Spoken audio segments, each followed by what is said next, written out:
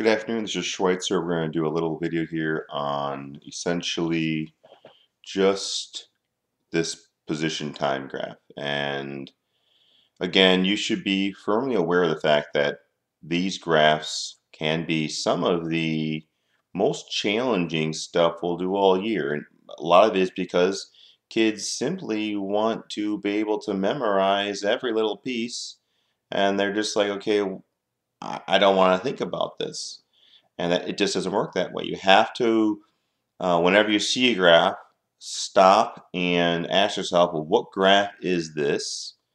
And what does the graph mean?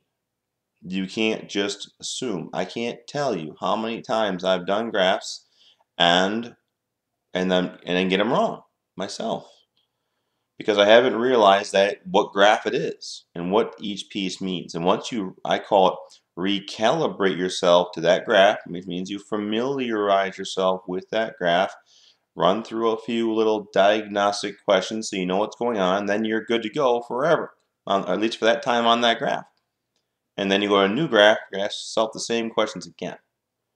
This happens to be a position time graph. So let's say it's meters and seconds. So how does the graph set up? Well, you got distance on the on the x or on the y and time on the x. It is representing a straight line. Okay?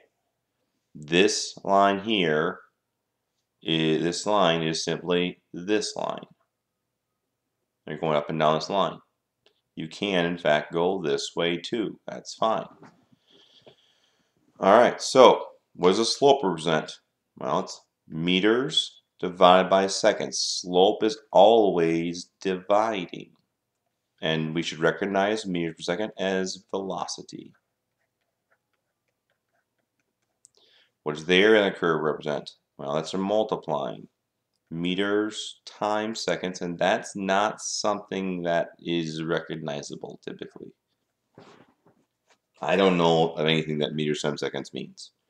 It's a piece of information, just not something useful for us. All right, so a couple things here. Um, so I say, what's just things I ask myself. What's a flat line represent? What's a vertical line represent? Um, I might change that a little bit here and say, okay, let's go with this for a second and say, okay, what is a positive velocity? And what is a negative velocity. Okay, so, um, all right, what's that mean? Okay, so if I have a slope that's positive, all right, versus slope that's negative. I'm assuming I have the same slopes here. Positive velocity, negative velocity. Just looking mathematically, purely mathematical from the slopes. What is this? We got person A and we got person B. What would that be like on a straight line? Well, what we have here is person A, okay, person, two people, they're at the same point, position, okay, what are these guys doing? Well, A simply goes this way, and B simply goes that way, and they're going that way at the same velocity, same speed. I should say. Velocities are opposite. All right, so next, what's a flat line represent? Well, a flat line here means zero slope, means zero change in position and zero movement. Okay, so flat line here means no speed. Sometimes rather than asking myself, um, what does a flat line represent, I'd say, what does a stopping look like? How do you stop?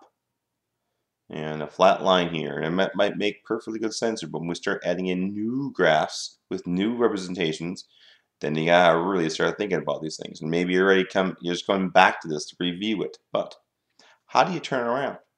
So I want to go down the road, stop, and then turn back around come back.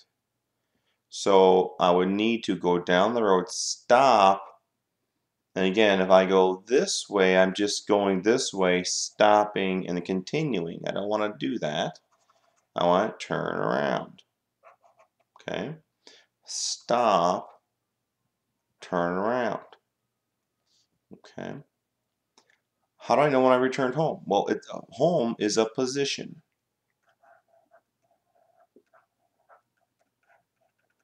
So I just need back to this position. I need back to this position. So whenever you cross that line, you're now at that point, you're back to the original starting point. Um, how do you know when you're farthest away? That's your whatever you're down the line. You know that's that's the farthest position away. All right. Um, how do you know? How do you speed up or slow down? I'm going to add a slide here. Okay. So there's a couple things here. One, speed up. Okay. Or to slow down. Really important terms. Now this is not, this is what we might call a, a scalar. It's not giving me a direction. I can speed up to the right or I could speed up to the left. Okay. Um, so in this case, I have a positive velocity. In this case, I have a negative velocity. Okay. So in this case, um, if I have a constant velocity, okay, important, constant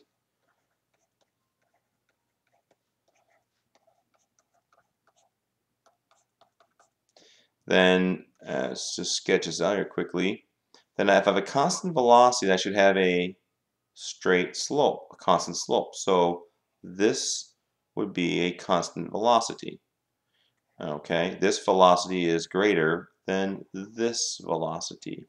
But since my slope's not changing, my acceleration equals zero on guys. So I'm neither speeding up nor slowing down. You should note, and it's important, that when you're slowing down, you're approaching a flat. You're going, okay, flat. So my line, whether it's going up, approaching a flat, or whether I'm going down, approaching a flat, this is slowing down. Recognize what a flat means. Flat means you're going no change in distance over time.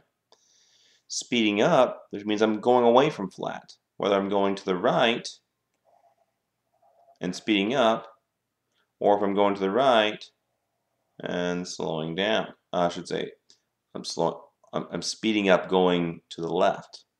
Okay, so that would be going negative velocity. Negative velocity, positive velocity. Okay, going to the right, speeding up. Going to the left, speeding up. Going to the right, um, slowing down, going to the left, slowing down. Okay, constant velocity. Uh, another thing to note is that in each of these things we have an acceleration. Okay, to speed up, really important here, positive acceleration with a positive velocity. Slowing down would mean their opposite. Okay, I could have a positive acceleration with a negative velocity or a negative acceleration with a positive velocity. All right, they're opposite. Okay. Um, let's take a quick moment and let's just sketch these out, what they what they look like. I'm adding an additional slide in here. And okay, so if I have a speed up, okay, what does this what does this look like?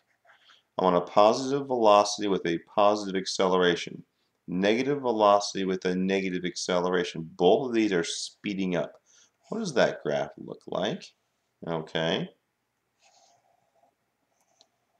All right. On uh, this one, I want to actually need to go that way. Okay, they both could have this. So a positive velocity means a positive slope, and I'm speeding faster. Okay, this is a positive velocity because I'm going positive position, and I'm getting faster positive acceleration. Negative velocity, so I'm going down, and I want to go faster. So I should get you more negative. Negative velocity, negative acceleration. All right, let's slow down.